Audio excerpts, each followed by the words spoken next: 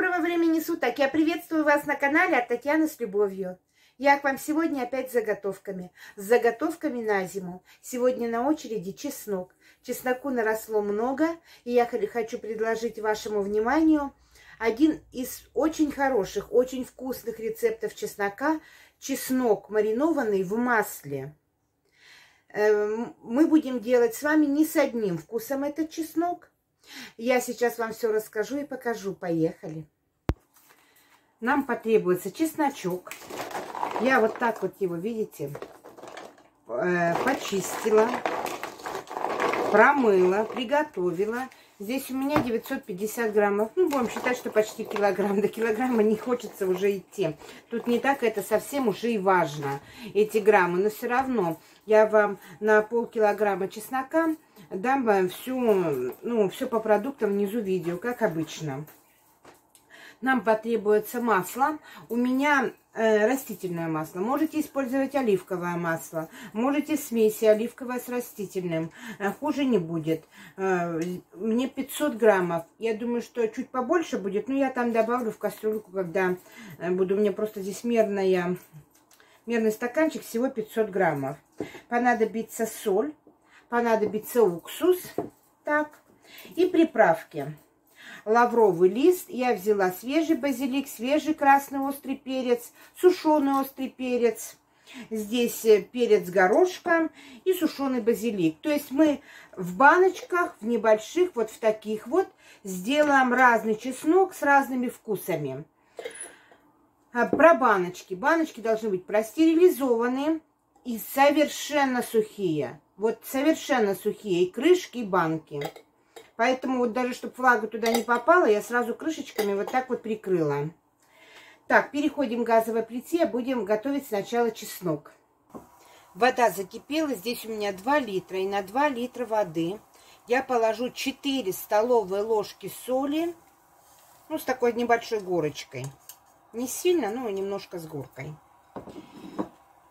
и 6 столовых ложек 9% уксуса.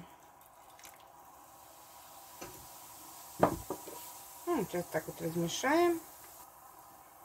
Сейчас закипит оно быстро. И мы будем отправлять туда наш чесночок. Лучше, наверное, вот так вот аккуратненько. даем чесноку закипеть. И с момента закипания провариваем его в течение 5 минут. Здесь у нас приготовлено наше масло.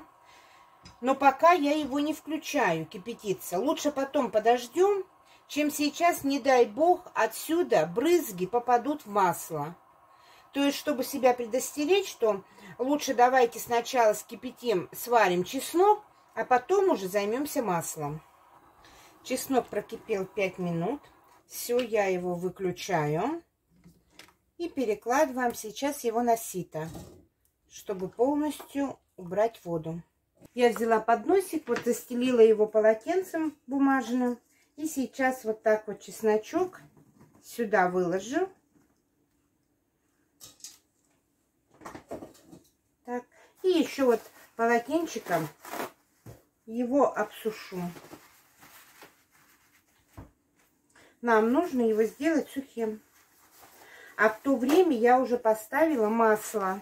Включила комфорку и маслица у нас разогревается. Сейчас можете не пробовать даже. Чесночок такой сейчас невкусный. Он просто как бы вареный. Просто его обсушиваем. Чеснок обсушили. И сейчас приготавливать будем наши баночки, пока масло разогревается. Значит, э, в каждую баночку положим по лавровому листочку. Это будет у нас во всех баночках лежать.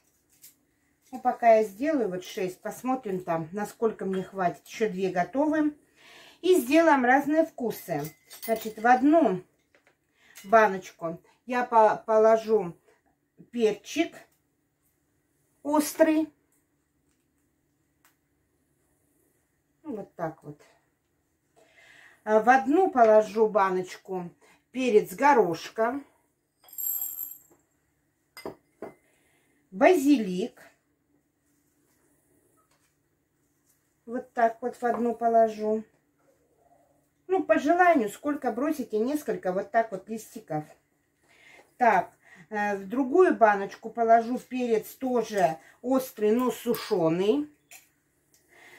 Э, в эту положу баночку базилик сушеный.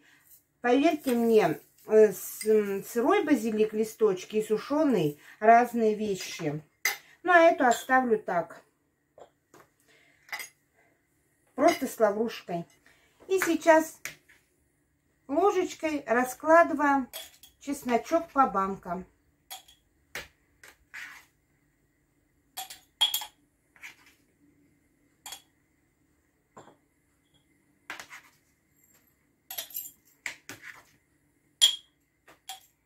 Вот смотрите, масло пошел такой дымок уже. Это значит, что масло уже закипело. Вот тихонечко очень аккуратненько наливаем потихоньку. Я вот взяла даже половничек, потому что неудобно проливается мимо. Будьте предельно аккуратны. Это кипящее масло. Ни в коем случае, чтобы ни дети, ни животные на кухне тут вот с вами не крутились, не вертелись. Вот такая вот реакция идет. Это нормально. Вот так и должно быть. Как только пузырьки прекращаются, проходят они, так мы баночку закрываем плотненько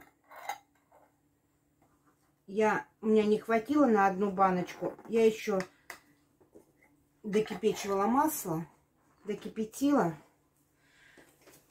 Вот так вот закрыли. И сейчас оставляем здесь остывать. Да, полностью не трогаем. Вот прямо поэтому на досочке у меня стоит. Оставляю здесь.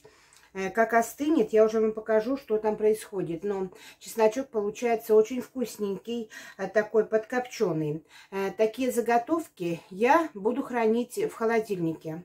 Если вы хотите масло такое, ну, такой вот чеснок с маслом хранить не в холодильнике, а, например, в кухонном шкафу, то вам нужно будет их простерилизовать. Тогда вот так вот закрыв баночки, сразу горячие, вы будете ставить в кипяток и стерилизовать 10 минут с момента закипания.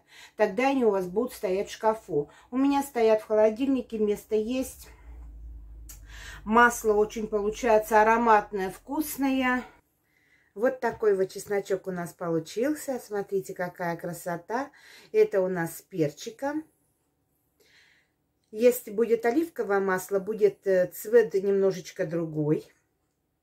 Э, чеснок получается здесь подкопченый такой. Э, вот вкус у него будет такой подкопченого немножко чесночка, потому что мы заливали его вот кипящим таким маслом.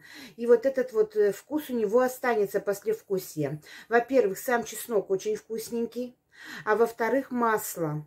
Масло, когда постоит, оно пропитается и чесночком, и перчиком. Вот, допустим, в данном случае, да, видите, какая красота. Потом да, базилик. Вот здесь у меня, смотрите.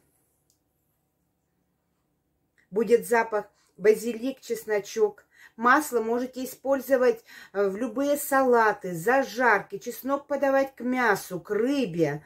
Ну, как отдельную закуску. Но это вообще универсально, просто универсальная заготовочка. Э, с перчиком, видите просто с перчиком. Можете просто один чесночок. Если вам понравился рецепт, то ставьте лайки. Не забывайте подписаться на мой канал. А я, как всегда, желаю вам всего самого хорошего и доброго. С вами была ваша Татьяна. Пока-пока.